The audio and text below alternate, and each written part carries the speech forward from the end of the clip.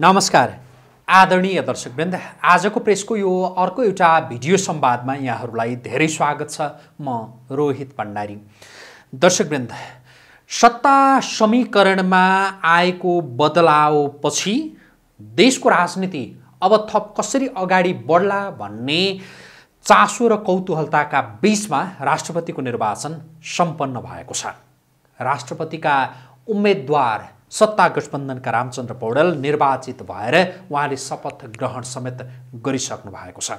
यो एउटा सन्दर्भ छ अनि अर्कातिर प्रधानमन्त्री समेत रहनुभएका नेकपा माओवादी केन्द्रका अध्यक्ष पुष्पकमल दाहाल प्रचण्डका विरुद्धमा सर्वोच्च अदालतमा रिट दायर भएको अवस्था छ। देश उपराष्ट्रपतिको निर्वाचनको सम्मुखमा छ। सँगसँगै अब रिक्त रहेका केही निर्वाचन क्षेत्रमा उपनिर्वाचन गर्नुपर्ने यो बाध्यकारी अवस्था छ।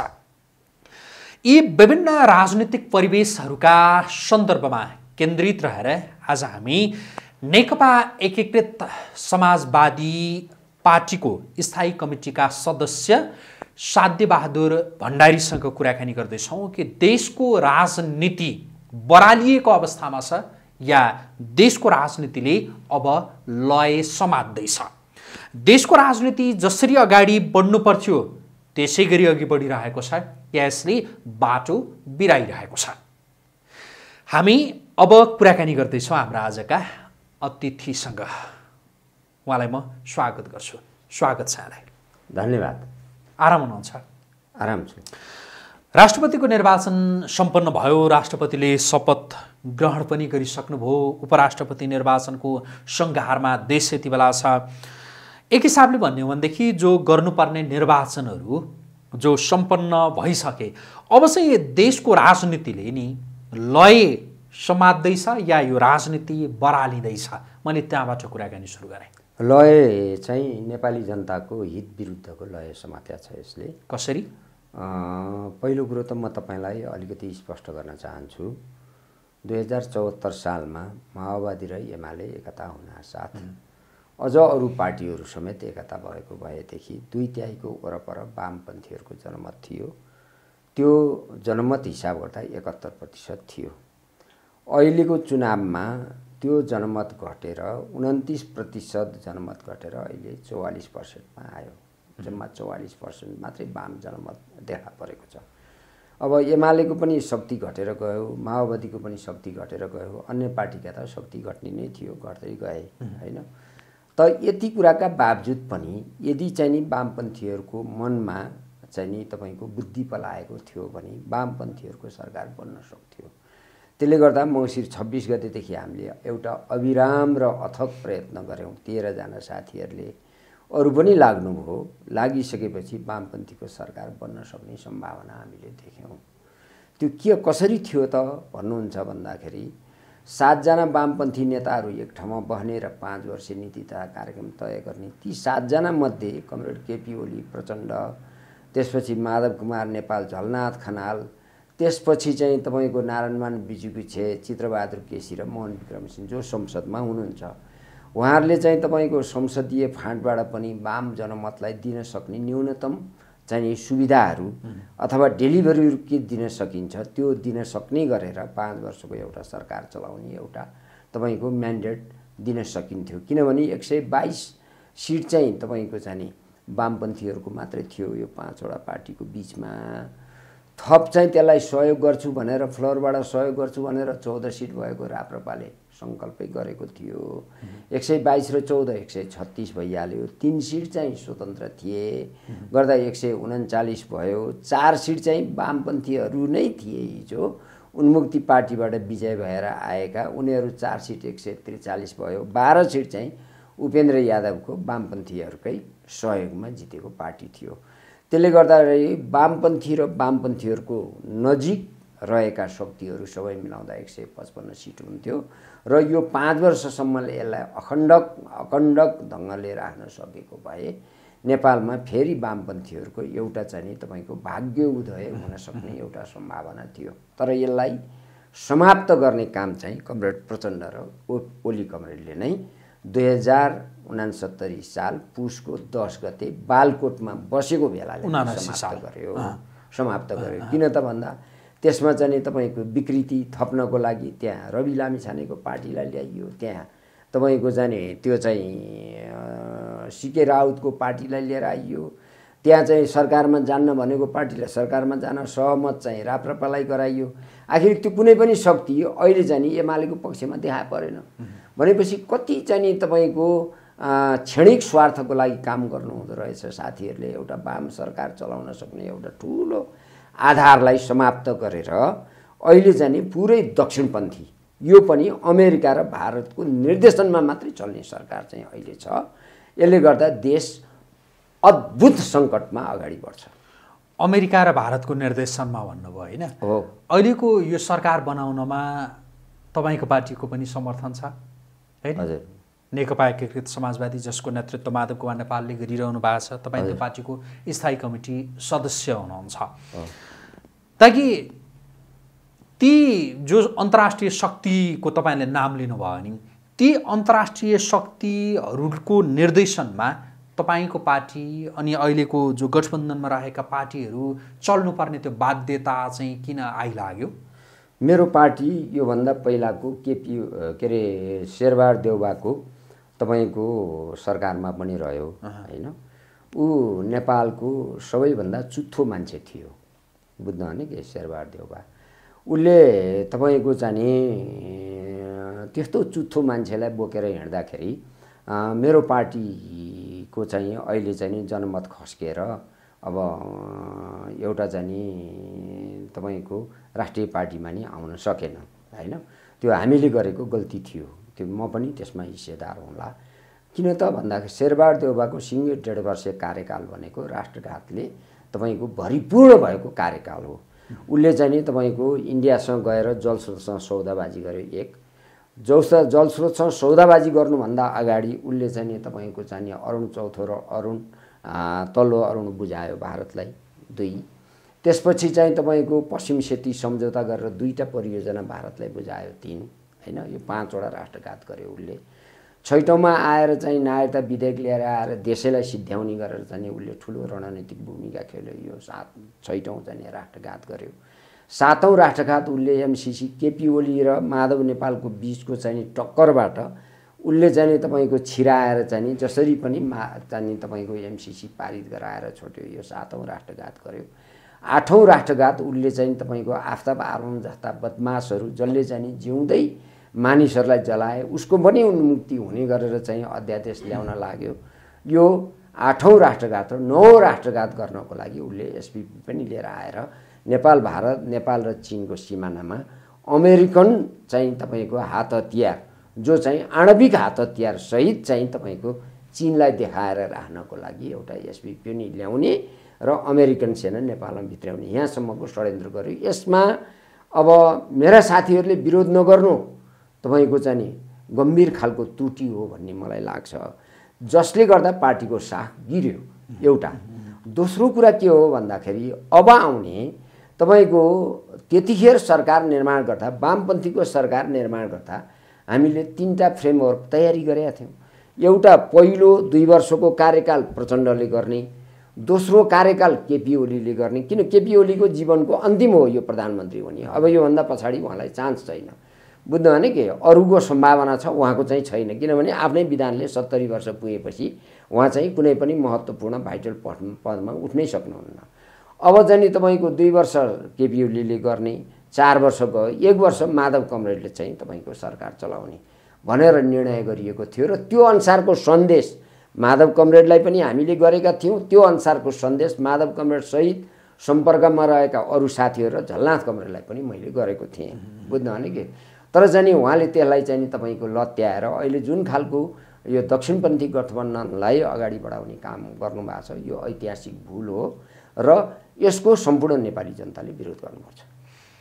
मैले अघि सोधिरहेको थिएँ कि अब जस्तो तपाईँले अघि भन्दै हुनुहुन्थ्यो जस्तो यी राष्ट्रघाती कामहरू शेरबहादुर देउबा नेतृत्वको सरकारमा भयो यो भयो त्यो भयो भनेर।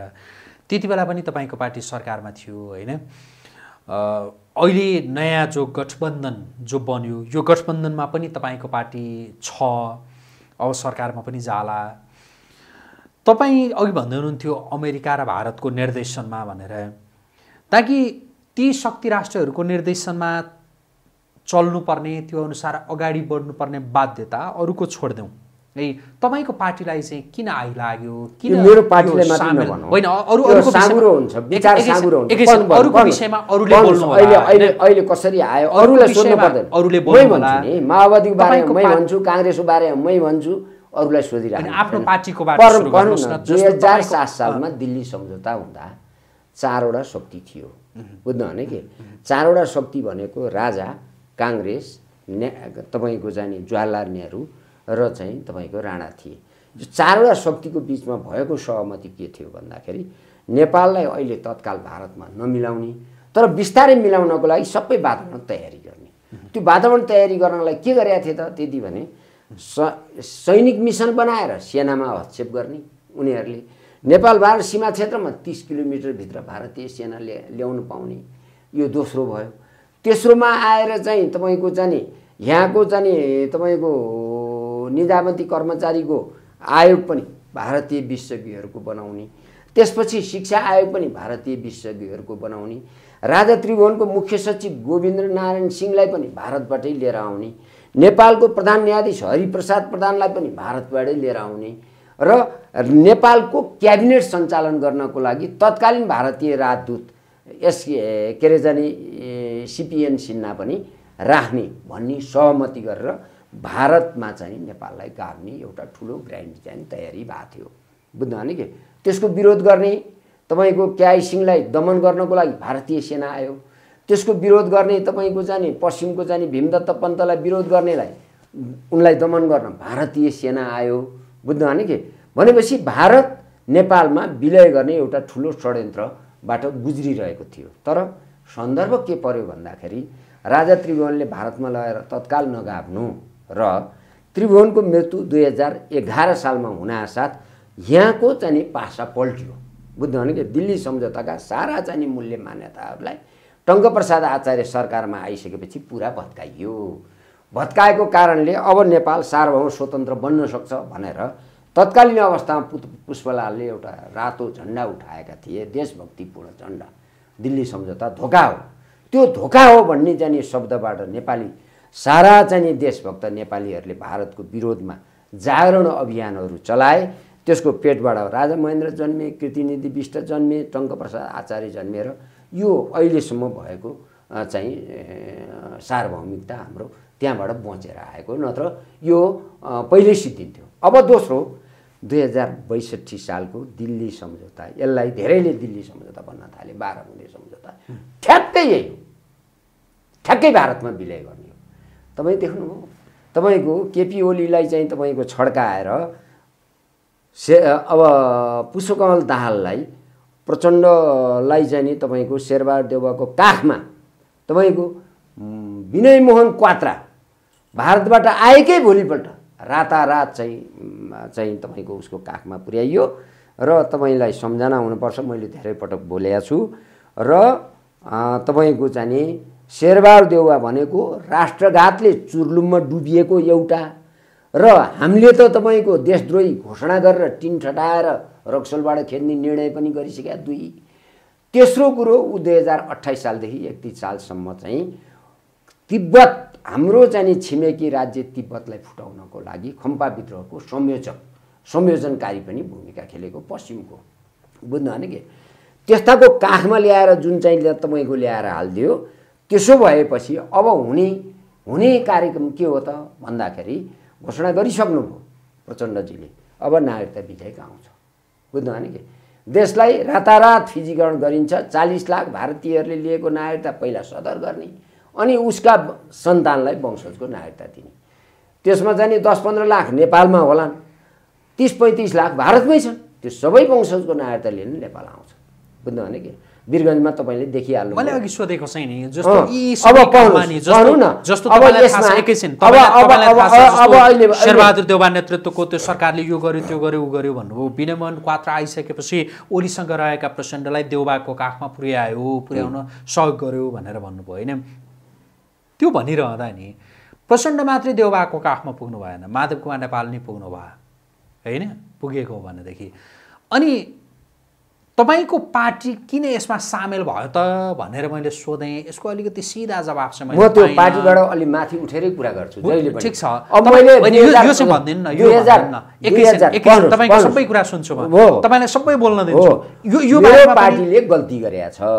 त्यो गम्भीर गल्ती गरेका छ। एक अब यो के हो त? भन्नुहुन्छ भने दुई हजार बैसठी सालको दिल्ली सम्झौता। यो चाहिँ अरू कुनै पार्टीले यहाँबाट गरे होइन। तिनवटा पक्ष छ एउटा। भारतको त्यो मरेको के?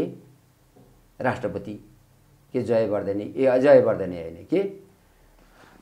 तपाईँले प्रणब मुखर्जी प्रणब मुखर्जी। दिल्ली सम्झौताका कुख्यात पात्रहरू। एउटा तपाईँको चाहिँ नि प्रणब मुखर्जी। दोस्रो एसडी मुनि तेस्रो श्याम शरण ऊ मऱ्यो दुईवटा त बाँकी छन्। बुझ्नु भने कि? यहाँ गिरिजाको काङ्ग्रेस गिरिजा र गिरिजाको काङ्ग्रेस अर्को माओवादी।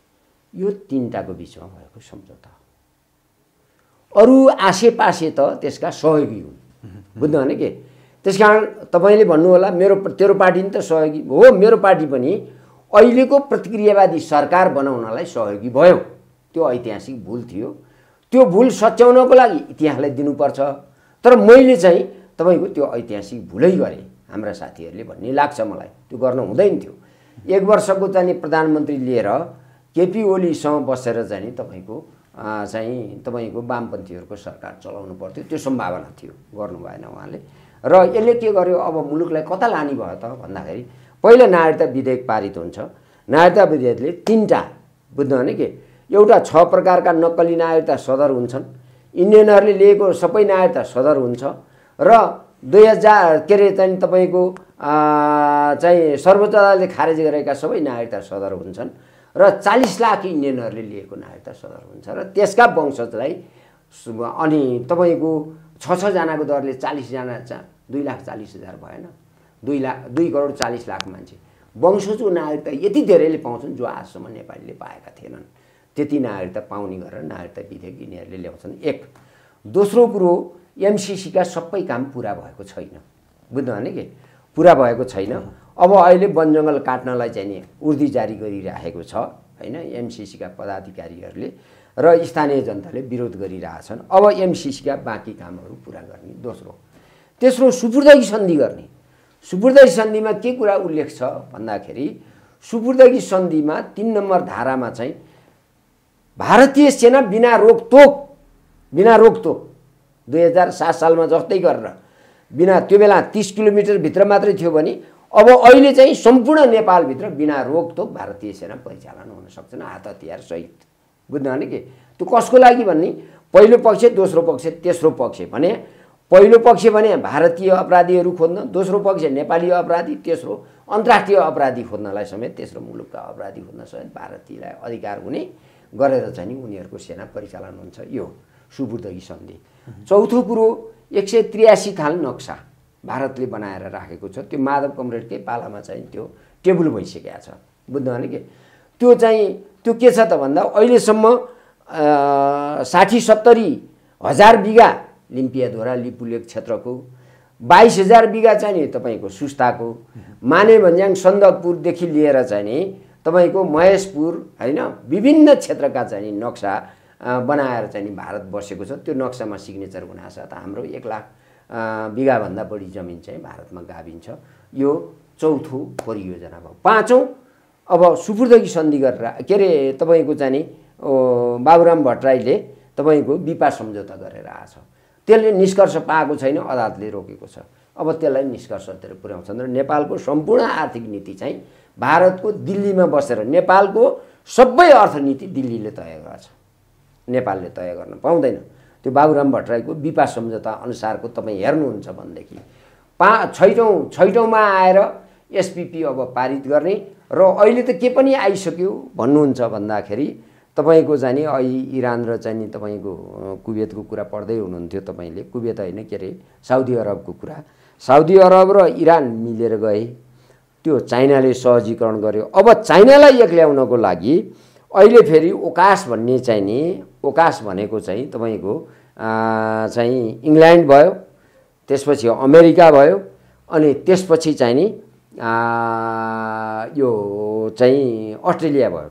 यो तिनवटा मिलेर अब समुद्री क्षेत्रमा आणविक ऊर्जासहितको आणविक हात हतियार सहितको चाहिँ तपाईँको पनडुब्बीहरू चलाउने निर्णय गरे। अब जल थल आकाश होइन?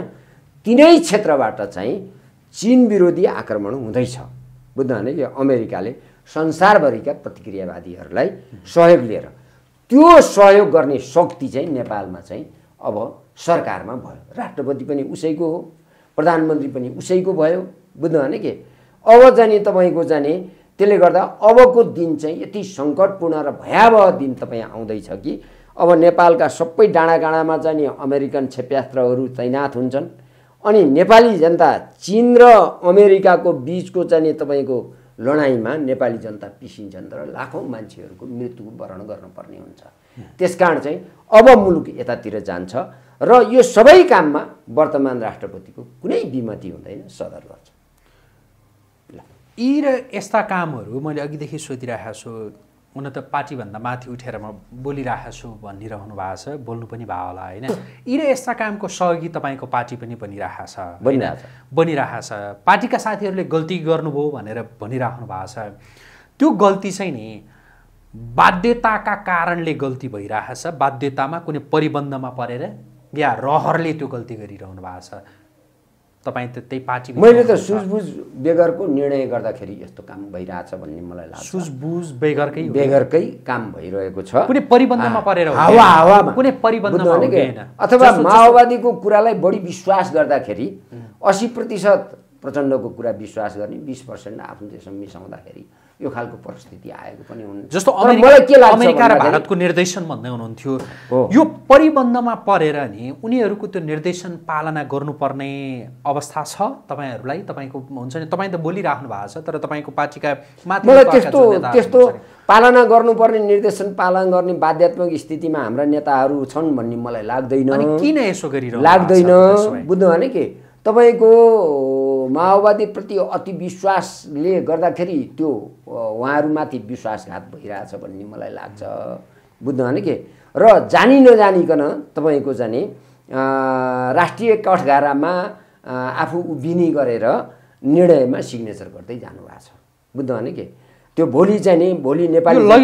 हो सार्वभौम नेपाली जनताले कुनै न कुनै हैसियतमा मलाई सहित यो कटघारामा उभ्याउँछन्। बुझ्नु भने के? कटघारामा उभ्याउँछन्। किन मेरो पार्टी छ मैले जाने सारा लिखित रूपमा दिएको छु भनेको छु पुरा गरेको छु तर त्यहाँ सुनवाई भइरहेको छैन। कहाँबाट सुनवाई भएको छैन मलाई त्यो थाहा छैन होइन? त्यसकारण चाहिँ तपाईँको तपाईँको पार्टीका अहिलेका अध्यक्ष जसले एमालेको त्यति लामो समय नेतृत्व गर्नुभयो अहिले तपाईँको पार्टीको जसको नेतृत्व गरिरहनु भएको छ प्रधानमन्त्री बन्नुभयो होइन? अस्ति त एमाले राष्ट्रपतिको पनि अफर गरेको थियो भन्ने कुरा आइरहेको छ।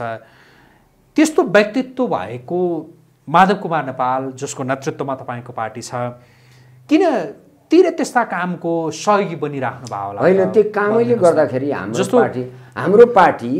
कामैले कामैको कारणले अहिले धेरै साथीहरूलाई नागरिकता विधेयकमा सही नगरेको भए अथवा चाहिँ तपाईँको चाहिँ यो एमसिसीमा पास नगरेको भए हाम्रो पार्टी चाहिँ अहिले दुई तिहाई के अरे जाने प्रचण्ड बहुमत ल्याउन नसके पनि होइन?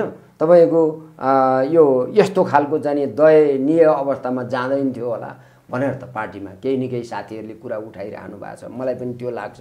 अब राष्ट्रियताको मुद्दा छोडे नि। छोडिसकेपछि त्यो पार्टी पार्टी हुँदैन। प्रतिक्रियावादी पार्टी भनेको त तपाईँको सबैभन्दा राम्रो त जाने देशै बुझाउने भनेर निर्णय गरेर आएको सात सालमा निर्णय बिपीले निर्णय गरेर आएको काङ्ग्रेसै छ नि। बुझ्नु भने कि? का बिपी त राष्ट्रवादी भएको त दुई हजार सोह्र सालपछि न हो। त्योभन्दा पहिला त विदेशै बुझाउने त तुलनात्मक रूपमा एमाले ठिक हो यति बेला? अब मैले अहिले एमालेको पनि सम्पूर्ण चरित्र मैले हेर्दिनँ त्यहाँ त्यहाँभित्र पनि साम्राज्यवादका दुष्ट दुश्मनहरू त्यहाँभित्र पनि छिरेका छन्। जसले एमसिसी पारित गराउने तहसम्म लिएर गए जसले जाने आइपिएसमा सहयोग गराउने सहयोग गर्ने तहसम्म लिएर गए जसले नागरिकता विधेयक तिन तिन पटक ल्याउने तहसम्म लिएर गए जसले चाहिँ तपाईँको जाने एसपिपी लागू गर्ने तहसम्म लिएर गए। त्यहाँभित्र नि साम्राज्यवादका दलालहरू छन्।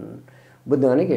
तर कमरेड केपी ओलीले गरेको दुई हजार बहत्तर सालदेखि त्रिहत्तर सालको बिचमा नौ महिने सरकारको चाहिँ तपाईँको नेपाली जनताले सधैँ स्मरण गर्ने खालको काम गर्नुभएको छ त्यो चाहिँ।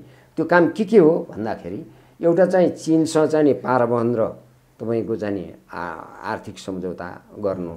अनि प्रोटोकलमा सही गराउनु बिहारमा सही गर्ने नेपालमा रेलवे लिएर आउने लुम्बिनीसम्म लिएर जाने होइन? र हिमालका डाँडा काँडाबाट बाटो खोलेर चिनिया सहरहरूसँग चाहिँ सम्बन्ध जोड्ने र चिनका नौवटा तिनवटा चाहिँ बन्दरगाहहरू नेपालले चाहिँ फ्री उपयोग गर्ने नेपालमा चाहिँ चारवटा चाहिँ बन्दरगाह चिनले बनाइदिने र ट्रान्समिसन लाइन अब चाहिँ तिब्बतसम्म लिएर जाने लगायतका जे जति ऐतिहासिक निर्णय भए त्यो ऐतिहासिक निर्णय चाहिँ नेपाली जनताले स्मरण योग्य छ। स्मरण योग्य छ र त्यो राम्रो छ भन्ने मलाई लाग्छ। त्यतिको निर्णय अरूले गर्न सक्छन् भन्ने फेरि मलाई लाग्छ अघिदेखिका तपाईँका कुरा सुनिरहँदा त देश त बर्बादै भइसकेछ डुबि नै सकेछ। अब त नेपालीका रूपमा पनि रहन पाइने हो या पाइने होइन भन्ने अवस्थामा पुगिसकेछ भने जस्तो सुनिन्छ कि अघिदेखि तपाईँले पनि सारा समाचारहरूलाई कलेक्सन गरेर हेर्दाखेरि त्यही त्यही भन्दैछु। त्यो त्यो सुनिन्छ होइन। यही बिचमा नि जस्तो गद्दीबाट बाहिरिएका राजा ज्ञानेन्द्र शाहले पनि देशका प्रति देशको जो दुरूह अवस्था बन्दैछ त्यसका प्रति चिन्ता व्यक्त गरेर सहकारीको प्रस्ताव पनि राख्नु भएको छ। तपाईँ उहाँले राख्नु भएको सहकारीको प्रस्तावका विषयमा चाहिँ के भन्नुहुन्छ? उनलाई राख्नु पाउने अधिकार छ। बुझ्नु भने के? अब सामन्ती राष्ट्रवाद बुझ्नु भने कि? सामन्ती प्रकारको सामन्ती प्रकारको सत्ताको मात्रै हामीले विरोध गरे हो। सामन्ती राष्ट्रवादको कहिले पनि हामीले विरोध गरेनौँ। भने के? राष्ट्र देश जोगाउने मामलामा तपाईँको जाने भोलि जाने तपाईँको आफ्नो सारा झिटी चम्टा चाहिँ त बुझाइसक्नुभयो। उहाँ चाहिँ सडकमा आउनु भएछ भने हाम्रो सहकार्य हुनसक्छ। उहाँले राख्नुभएको त्यो सहकार्यको प्रस्तावको स्वागत गर्नुहुन्छ? होइन स्वागत भन्दा पनि उहाँले चाहिँ तपाईँको कुटनैतिक ढङ्गले राख्नुभयो कि साँच्चै कर्मले गर्ने हिसाबले राख्नु भन्ने कुराको परख गर्नुपर्छ। कर्मको ढङ्गले राख्ने हो भने नागरिकता विधेयकको विरोध विरोध गरेर आउनु पऱ्यो एमसिसीको विरोध गरेर आउनु पऱ्यो एसपिपीको विरोध गरेर आउनु पऱ्यो अहिलेको चाहिँ तपाईँको सुपुर्दगी सन्धिको विरोध गरेर आउनु पऱ्यो बिपिएस बिपा सम्झौताको विरोध गरेर आउनु पऱ्यो होइन? तपाईँको जाने यो सबै कुराको विरोध गरेर उहाँ आउनुहुन्छ भनेदेखि हामी चाहिँ नि सहकार्य गर्न तयार छौँ। राजासँग सहकार्य गर्न सकिन्छ। सकिन्छ। किन सकिँदैन? उहाँ देश उहाँको पनि त देश हो नि। उहाँको देश होइन र मुलुक होइन र तर उहाँले उहाँले त्यो विज्ञप्ति निकाल्दै गर्दा सहकारीको प्रस्तावसहितको विज्ञप्ति निकाल्दै गर्दा या उहाँले कुनै अवसरमा बोल्दै गर्दाखेरि दलका नेताहरू आत्तिन्छन् कि? होइन? अलिकति सब यिनीहरू के हो त भन्दाखेरि दिल्ली दुई हजार बैसठी सालको बाह्र बुँदे सम्झौताको कलो खाएका बिलो खाएका मानिसहरू आत्तिनु स्वाभाविक हो होइन? त्यतिखेर महेन्द्रको शालिगलाई हानियो पृथ्वीनारायण शाहका शालिगलाई हानियो होइन? यो देश चाहिँदैन क्षति क्षति गर्नुपर्छ यसलाई छेद विच्छेद गर्नुपर्छ भनेर भनियो। अब तपाईँको चाहिँ इन्डियाको चाहिँ एजेन्डा बुझ्नु भने कि दुईवटा एजेन्डा एउटा नागरिकता लिने हो। नागरिकताको एजेन्डा र चाहिँ तपाईँको नेपाललाई चाहिँ छेद विच्छेद गरेर तराई टुक्रियाएर चाहिँ भारतमा गाभ्ने नभए सिङ्गै गाभ्ने हो उनीहरूको एजेन्डा। त्यो एजेन्डालाई सफल पार्नको लागि चाहिँ तपाईँको चाहिँ खास गरेर नागरिकता र चाहिँ भनौँ न अब दिल्ली सम्झौताको मूल मूल लक्षण होइन? एउटा नागरिकता भयो एउटा राजतन्त्र हटाउने भयो। राजतन्त्र हटाउने त नेपालीहरूको चाहिँ नि आफ्नो कुरा भयो होइन? तर यो त बयालिस सालदेखि नै राजतन्त्र हटाउने कुरा त भारतले त सोचिरहेको थियो। र त्यसका चाहिँ नि मतियार बने हाम्रा केही मानिसहरू होइन? त्यस कारण यो नेपाली जनताको बुताले राजतन्त्र हटेको पनि होइन पहिलो कुरा। होइन। यो दुईवटा दुईवटा एजेन्डा इन्डियाको। दुईवटा एजेन्डा युरोपियन युनियनको एउटा धर्मनिरपेक्षता बनाउने र यसलाई मुलुकलाई क्रिस्चियन मुलुकमा ढाल्ने। दोस्रो चाहिँ तपाईँको चाहिँ सङ्घीयता ल्याउने र देशलाई टुक्रा टुक्रा बनाएर काँक्राका चिरा जस्तो बनाइसकेपछि निल्न सजिलो हुन्छ भनेर बाहिर वैदेशिक शक्तिलाई खेल्न सजिलो हुन्छ भनेर काँक्राका चिरा बनाउने। यो दुईवटा एजेन्डा चाहिँ तपाईँको युरोपियन युनियन अमेरिकनहरू र क्रिस्चियनहरूका एजेन्डाहरू हुन्। यी दुइटै यो चारै एजे एजेन्डा हाम्रो लागि चाहिँ तपाईँको कुनै चाहिँ ठुला चाहिँ तपाईँको यो आमूल परिवर्तन खाले गर्ने खालका एजेन्डा होइन। तपाईँ समग्रमा नि गद्दीबाट बाहिरिएका राजा ज्ञानेन्द्र शाहको त्यो सहकार्यको प्रस्तावलाई समग्रमा कुन रूपमा बुझ्नुहुन्छ? त्यो एकदमै तपाईँको बुझाइ साँच्चै देशप्रतिको चिन्ता सहितको त्यो सहकार्यको प्रस्ताव हो भन्ने लाग्छ। या गद्दीमा जान पाइन्छ कि भन्ने त्यो सोचका साथ आएको प्रस्ताव मात्रै हो भन्ने लाग्छ। समग्रमा कुन रूपमा लिनुहुन्छ तपाईँ? जस्तो होइन त्यस्तो चाहिँ भोलि वैदेशिक आक्रमणबाट नेपाली जनतालाई थेग्न चाहिँ सबै शक्ति एक ठाउँमा आउँदाखेरि वैदेशिक र षड्यन्त्र एक ठाउँमा हुन्छ। त्यो त हिजो चिङ्गाई सेक र माओको बिचमा पनि सम्झौता भएको थियो होइन? तपाईँको जाने अब यता के जाने तपाईँको राजा सिमानुकले पनि जाने कम्युनिस्टहरूलाई सहयोग गरेका थिए कम्युनिस्टहरूले सहयोग गरेका थिए। आफ्नो देश चाहिँ देशको अस्तित्वै समाप्त हुने तहमा अहिले यो सरकारले भूमिका खेल्दै जाँदाखेरि चाहिँ तपाईँको समय र परिवेशले अब सबै सक चिजको विरोध गर्दै आउँदाखेरि हामीले चाहिँ नि अब ती शक्तिसँग पनि जानुपर्ने हुन्छ। बुझ्नु भने कि? यो विषयमा तपाईँहरूले पार्टीभित्र छलफल प्रारम्भ गर्नुभएको हुन्छ? पार्टीभित्र पनि साथीहरूको? बिचमा हुन्छ नि त छलफल। अनौपचारिक कुराहरू? भइरहेको किन? अब देशको सङ्कट त देखाएको छ नि त मान्छेले। बुझ्नु भने कि? हालाकि ने, ने नेताले के खालको गल्ती गर्यो त्यो आफ्नो ठाउँमा छ। सिङ्गो पार्टी त एउटा नेताले गरेको गल्तीसँग गएर चाहिँ नि, गाडी सिद्धिन त सक्दैन नि त होइन? तपाईँको चाहिँ त्यतिखेर कि नेतालाई चाहिँ तपाईँको दुधबाट झिँगा झिँगा निकाले जस्तो गरेर निकालेर फालिदिनु पर्ने हुन्छ होइन? बदमासी गर्ने नेतालाई कि भने उसलाई सचिनु पर्ने हुनसक्छ होइन? देश अ, एकदमै त्यो सङ्कटग्रस्त अवस्थाबाट गुज्रन लागेको छ एक हिसाबले भन्यो भने यति बेला पनि सङ्कटपूर्ण अवस्थाबाट सकसपूर्ण अवस्थाबाट देश अगाडि बढिरहेको छ। यो स्थितिमा नि एकदमै राम्रो विकल्प तत्काल तपाईँ के देख्नुहुन्छ? मैले त चार पाँचवटा कुरा देख्छु। एउटा जाने मैले सबैसँग सहकार्य। अझ मैले जाने म चाहिँ चितवन दुई नम्बर क्षेत्रमा बस्छु होइन? दुई नम्बर क्षेत्रमा बस्छु। अनि मैले हेरेँ अहिले अहिले हेरेँ क्या। तपाईँको यसो जाने त्यो रवि लामी छानेको पार्टीमा अलि युवाहरू रहेछन् होइन? उत्साही उत्साही युवाहरू। त्यो मैले जाने मासुको मात्रै कल्पना गरेँ है। कुन छ उहाँको दिमाग के छ म त्यो भन्दिनँ अहिले होइन? हालाकि उहाँको र मेरो पार्टीको बिचमा आकाश जमिनको फरक छ। मेरो आह्वान के छ उहाँलाई भन्दाखेरि हामी देशभक्तहरूको पार्टी बनाऊँ। बुझ्नु भने कि?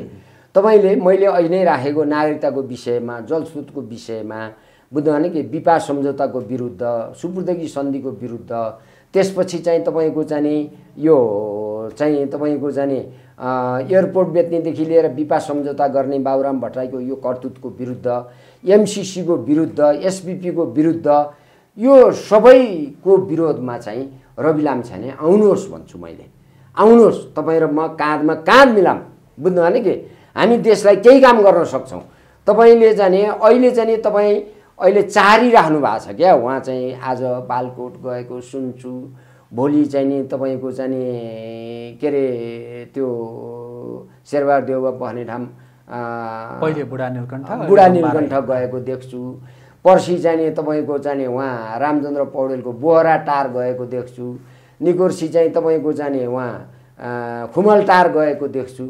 यसरी चाहिँ तपाईँको यी जनताले एक प्रकारको नकाम भनेर फालिसकेका मान्छेहरूको पछि लागेर तपाईँले चाहिँ किन चाहिँ आफ्नो समय गुजारिराख्नु भएको छ भन्छु मैले।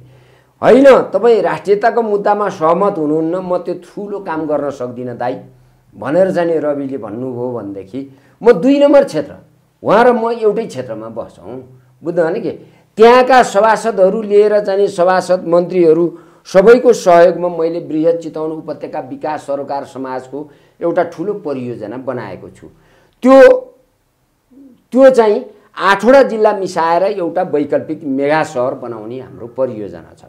त्यो वैकल्पिक मेगा सहर हामीले किन बनाउन खोज्यौँ भन्दाखेरि अब काठमाडौँले जनसङ्ख्या थेग्न सक्दैन अब यसको वरपर अर्को एउटा वैकल्पिक सहर बनाउनु पर्छ भन्दाखेरि तपाईँको चितवन नवलपरासी तनहुँ तपाईँको चाहिँ लमजुङ गोर्खा धादिङ मकवानपुर पर्सा यति चाहिँ तपाईँको क्षेत्र ओगटेर अझ खास गरेर चितवनमा भएका चाहिँ धेरै बन्दीपुरबाट गएका व्यापारी साथीहरू हुनुहुन्छ।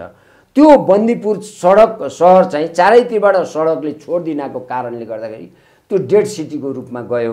त्यसले गर्दा यो त्यो बन्दीपुरलाई समेत समेटेर त्यसलाई ऐतिहासिक सहर भएको कारणले त्यसलाई बन्दीपुरलाई समेत समेटेर हामीले बृहत एउटा परियोजना बनाएका छौँ। यहाँभित्र एकतिसवटा नयाँ सहर बन्छन्। र त्यहाँ साठी लाख मान्छेहरू अहिले हामी राख्न सक्छौँ। यहाँ चाहिँ तपाईँको विद्युत सञ्चारदेखि लिएर सबै छब्बिसवटा कमिटी बनाएर हामीले काम गरिरहेका छौँ। त्यस कारण चाहिँ तपाईँ यो मेरो बृहत चितवनको एउटा खाका छ। तपाईँको अगाडि मैले रविजीको अगाडि राख्न खोजेको अथवा उहाँका साथीहरूको अगाडि राख्न खोजेँ। ल यसमा सहयोग गर्न आउनुहोस्। होइन तपाईँ यसमा पनि यो चाहिँ म चितवनका मान्छे अब यो अलिक सङ्कीर्ण भयो।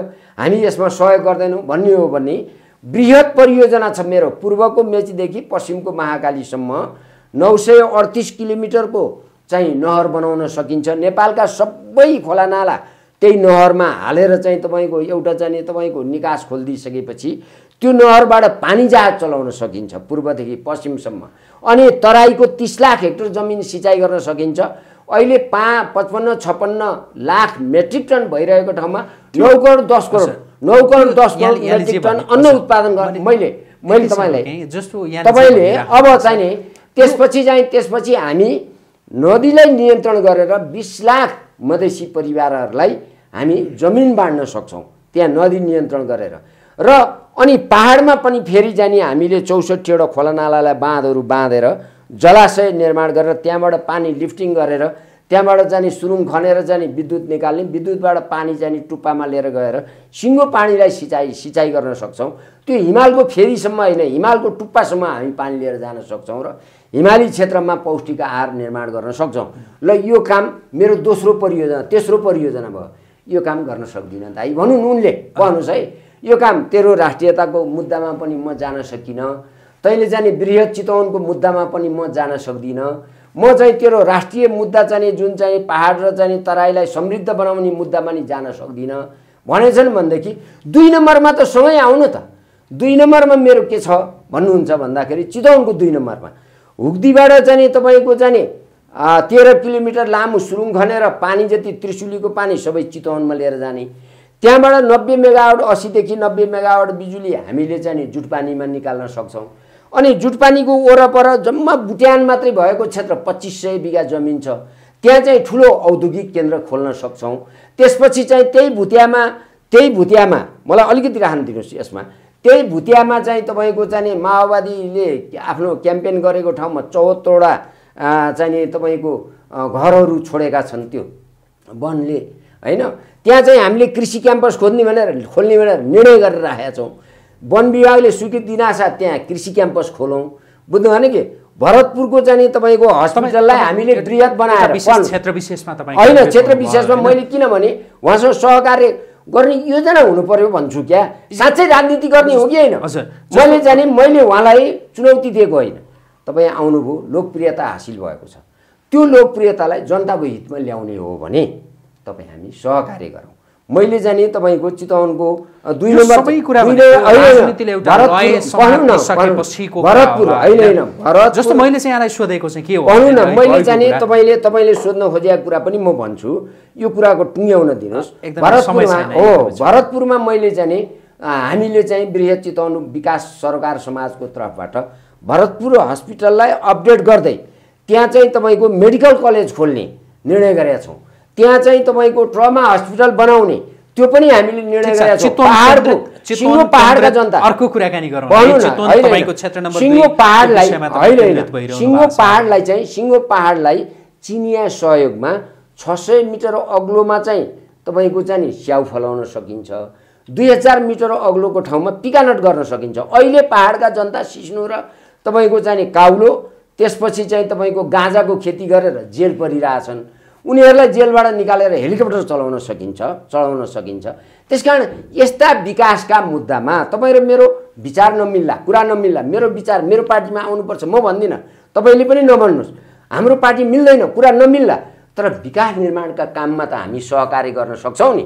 त्यस कारण तपाईँको शक्तिखोरबाट केबुल कार लिएर गएर सिराइचुलीमा लिएर जाने हुग्दीबाट केबुल कार सिराइचुलीमा लिएर जाने पाहाडलाई तपाईँको चितवनको चितवनसँग कहानी देउघाटबाट माडीसम्म जाने मा माडीसम्म तपाईँको यो केबुल कार होइन के अरे त्यो स्काई रेललाई बनोले लिएर जाने चितवनको माडीलाई पनि विकास निर्माणसँग जोड्ने।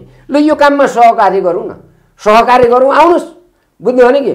नत्र भनेदेखि तपाईँको जाने के भयो त्यति भयो भने हामीले। सम्पूर्ण नेपाली जनतालाई रोजगारी दिनु जस्तो जस्तो मेरो जिज्ञासा। यहाँको जवाब अलिकति कता कता बिग्रियो। बिग्रियो कि जस्तो लाग्छ जस्तो चितवनको विषयमा या चितवन क्षेत्र नम्बर दुईको विषयमा भन्दा पनि मैले यहाँसँग समग्रमा होइन सबै वामपन्थीहरूको साझा उम्मेदवार बन्न सक्यो। भने म पनि तयार त्यो त्यो। त्यो विषयमा अर्को कुनै कार्यक्रममा विस्तृतमा कुराकानी गरौँ विशेष गरी तपाईँ जो चितवनमा यो वैशाख दस गते निर्वाचन हुँदैछ तपाईँले नि कतै उम्मेदवारी दिन खोजिरहनु भएको छ कि जस्तो यो मैले छनक यसो यसो कुराकानी- कुराकानी- उम्मेदवारको रूपमा कुराकानी कुराकानी होइन। यो गरिरहँदा म सोधिरहेको थिएँ अर्को तपाईँ यतातिर बग्नु भयो र त्यो। छनक मैले त्यो बुझेँ त्यो विषयमा हामी अर्को कुनै कार्यक्रममा विस्तृतमा कुराकानी गरौँला यति बेला चाहिँ एकदमै छोटोमा भनिदिनु होला मैले यहाँलाई सोधेको चाहिँ नि देश जसरी सकसपूर्ण अवस्थाबाट अगाडि बढिरहेको छ अखण्ड सङ्कट। अखण्ड सङ्कट देशमा निम्तिएको छ भनेर यहाँले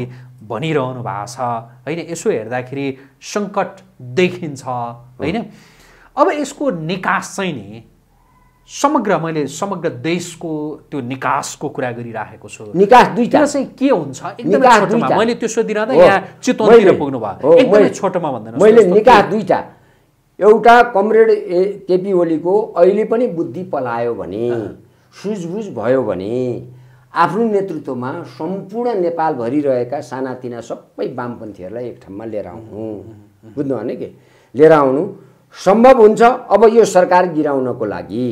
गिराउनको लागि उहाँले जाने एक सय बाइस सिट त वामपन्थीहरूको त्यहाँ छँदैछ। अरू सहयोगीहरू मिलाउन सकिन्छ भने गिराएर वामपन्थीहरूको सरकार बनाउनु यो सर्वोत्तम राम्रो कुरा हो।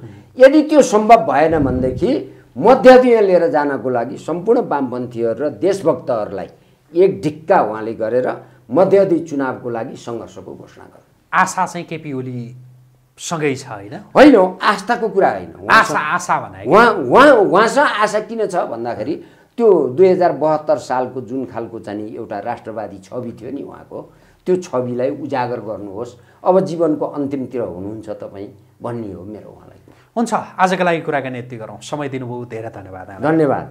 हस् आदरणीय दर्शकवृन्द हामी कुराकानी गरिरहेका थियौँ। नेकपा एकीकृत समाजवादी पार्टीको स्थायी कमिटीका सदस्य साध्यबहादुर भण्डारीसँग उहाँसँगको यो कुराकानीसँगै आजको प्रेसको यो विशेष भिडियो संवाद अहिलेका लागि यहीँ सकिन्छ। पल पलको अपडेट ताजा बहस र विश्लेषणात्मक टिप्पणीका लागि आजको प्रेस हेर्दै गर्नुहोला।